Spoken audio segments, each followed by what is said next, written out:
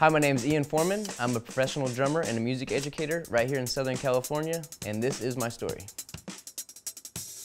I think a lot of people don't know how much energy musicians have to put in, because uh, your drummer's always working, and he's the, the backbone of the band, so you have to keep the energy up to keep the band lively, you know.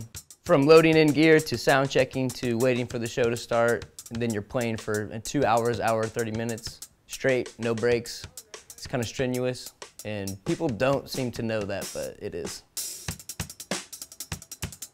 I was living in pain, kind of, and playing shows weekly, daily, and after I went to the joint, it just relieved all my back pain, my arm pain.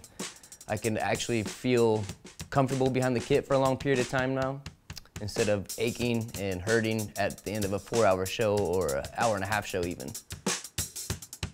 I was skeptical at first visiting the chiropractor, but after I did, I would refer it to my close friends, family, just basically anybody that lives, you know, just because what we do to our bodies every day is pretty gnarly, you know.